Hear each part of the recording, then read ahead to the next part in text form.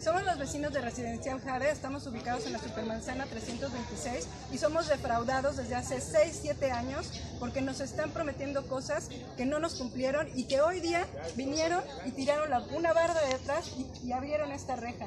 Estamos esperando a las personas, para, a las personas representantes, ya vino la policía, vino también los militares para ver si así nos cumplen porque esto es un fraude. Nos quitaron una casa club con la que nos vendieron, nos quitaron también las vialidades, nos, nos, vendieron una casa club, a todos los vecinos nos prometieron que era casa club y vinieron y la tomaron con ellos.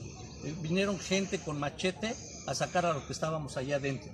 ¿sí? Es un fraude lo que hicieron. Y ahorita vienen y nos quitan una barda de allá atrás que nos deja desprotegidos y esta barda también la tiraron, esta reja. Desgraciadamente ¿Sí? siguen comercializando, no se dejen engañar por favor, tienen un, un eh, desarrollo en Tulum, siguen comercializando. Aquí tienen también cuatro casas más, unos edificios y siguen prometiendo la venta con Casa Club y con servicios con los que no cumplen. El proyecto que tienen lo tienen en Tulum, se llama JADE 2, no se dejen defraudar, prometen y no cumplen nada. Aquí estamos parte de los vecinos, los que nos estamos ahorita organizando para poner la denuncia tanto a Profeco y a todas las instancias posibles para detener a este tipo de desarrolladoras que defraudan, en donde invertimos para nuestro patrimonio. No podemos comprar una casa cada, cada un año o cada dos años. Es una inversión que suma nuestro patrimonio y estamos defraudados. Ten, tenemos detenidos a las personas que nos vinieron a, tum a tumbar la reja, que no sabemos si son rateros o no. Están detenidos aquí en el coche junto con la policía.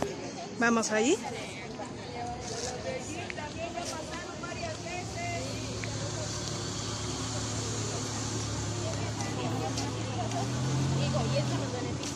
Tenemos más de una hora esperando ya que se presente el representante legal porque estas personas dicen venir de su parte, no tenemos, no, no se han acreditado, ya están aquí la policía, tampoco se han querido dejar a dar su nombre o acreditarse y estamos más de, de una hora aquí esperando a ver que venga el apoderado para que nos explique qué es lo que está haciendo con nuestra propiedad.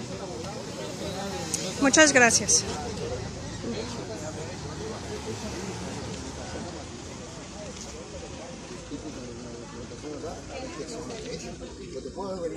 Ahí pueden ver a la gente que es que rompieron la reja.